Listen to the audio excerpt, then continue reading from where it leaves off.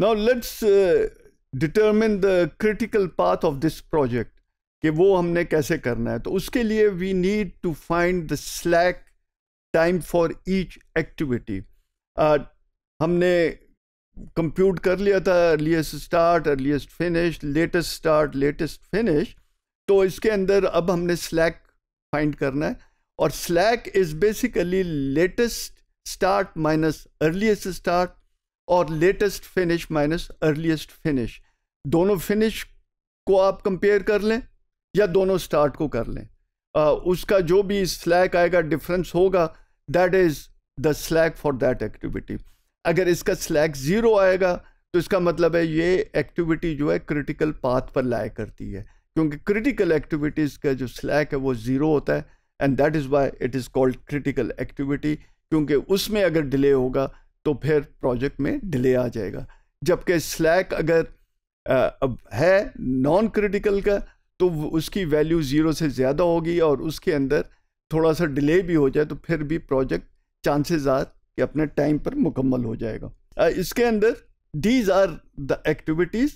और हमने इनके अर्लीस्ट स्टार्ट और अर्लीस्ट फिनिश फाइंड किया था। ए और बी क्योंकि स्टार्ट की एक्टिविटीज़ थी तो उनका ज़ीरो था अर्लीस्ट स्टार्ट और earliest finish was two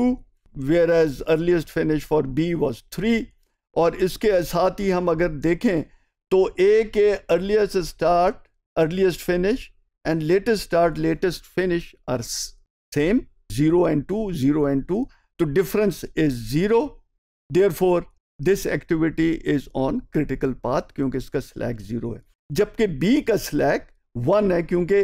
earliest start और लेटेस्ट स्टार्ट का डिफरेंस वन है। Similarly earliest finish and latest finish का डिफरेंस भी वन है। तो वो स्लैग जो है, वो वन है। तो उस that is not on the critical path C earliest start is two and latest start is also two so slack is zero it is on the critical path and D on the other hand has earliest start of three but latest start is four difference is one तो वो critical path पे नहीं है, क्योंकि उसका slack one का आ रहा है। ई का again early start is four and latest start is also four the slack is zero और we can look at earliest finish is eight latest finish is eight so slack is zero and it is also on critical path F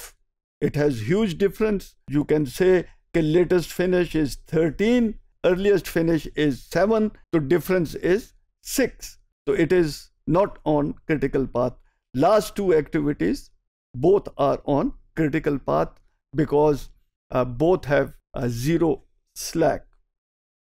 now let's look at the हमारा ये जो diagram था precedence diagram जो हमने construct किया और उसके अंदर अर्लीस्ट स्टार्ट और अर्लीस्ट फिनिश लेटेस्ट स्टार्ट और लेटेस्ट फिनिश को हमने वैल्यूज़ इनकॉर्पोरेट की। तो इस बेसिस के ऊपर हमारा जो क्रिटिकल पाथ है, वो क्या बन रहा है? स्टार्ट दोनों ज़ीरो हैं तो इधर से हम स्टार्ट कर रहे हैं, जो कि हमारा पाथ का बन रहा है। क्योंकि एक ही दोनों अर्लीस्ट लेटेस्ट स्टार्ट और latest sorry latest earliest finish and latest finish एक बराबर हैं earliest start and latest start both एक बराबर हैं तो स्लैक ज़ीरो है तो that is on our critical path next we have C which is again has earliest finish and latest finish of same value there is no slack तो ये आपको show कर रहा है एरो जो कि रेड एरोज हैं, कि क्रिटिकल पाथ कैसे मूव कर रहा है, कहाँ। सी से हम ई e में जा रहे हैं, क्योंकि इसके भी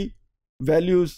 सेम है लेटेस्ट अर्लीस्ट फिनिश और लेटेस्ट फिनिश सेम है अर्लीस्ट स्टार्ट और लेटेस्ट स्टार्ट सेम है. Then we move to G again thirteen thirteen and eight eight slack is zero and lastly we move to H which has fifteen fifteen as and latest finish of the that activity. Similarly 13 13 uh, earliest start and latest start with zero slack तो ये हमारा critical path बनता है। Which is basically start is dummy activity but actual is A C E G and H इससे हमारा ये पूरा का पूरा क्रिटिकल पाथ बन रहा है और ये जो एक्टिविटीज़ हैं, ये वो एक्टिविटीज़ हैं जिनका स्लैग जो है टाइम वो ज़ीरो है।